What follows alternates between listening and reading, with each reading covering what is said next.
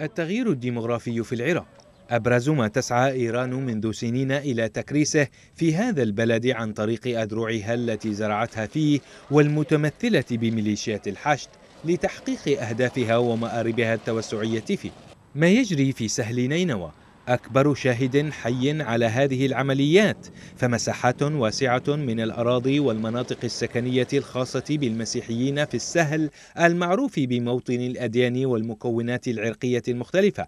أصبحت معسكرات ومخازن عتاد ومقرات لضباط فيلق القدس التابع للحرس الثوري الإيراني الذين ينتشرون في معظم مدن العراق للإشراف على تنفيذ مشروع نظام الملالي في المنطقة.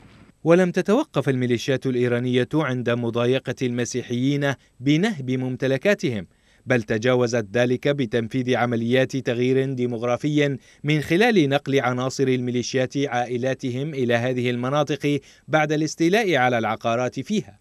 ناهيك عن مصادرة ونهب المنازل ومنع أهلها من العودة.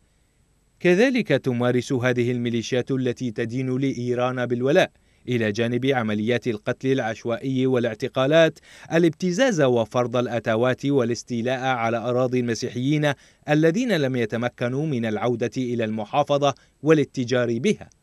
أحدث إجراءات النظام الإيراني وميليشياته في مناطق سهل نينوى لتحقيق مآربه. افتتاحه مدرسة الخميني شرق مدينة الموصل لتكريس التطرف عبر تصدير نهج الثورة الخمينية الطائفي. كخطوة أولى تسبق الاستيلاء على ممتلكات المسيحيين في المنطقة. الخطوة التالية والتي يجري التنسيق لها بين الميليشيات والسفير الإيراني ببغداد ستكون افتتاح قنصلية إيرانية تقبع على أطلال ممتلكات المسيحيين في العراق. مساعي إيران وميليشياتها قوبلت برفض كبير من قبل المسيحيين الذين رأوا في افتتاح مدرسة الخميني وافتتاح قنصلية إيرانية في مناطقهم مخططات لإنهاء وجودهم في العراق.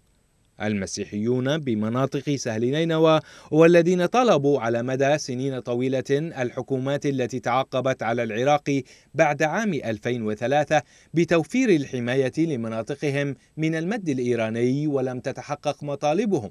يجدون أنفسهم اليوم مضطرين لطلب حماية دولية بعد أن تناقصت أعدادهم بشكل كبير. طلب يرى هؤلاء أنه بات السبيل الوحيد لإنقاذ وجودهم في موطنهم العراق بعد أن تقطعت بهم جميع السبل.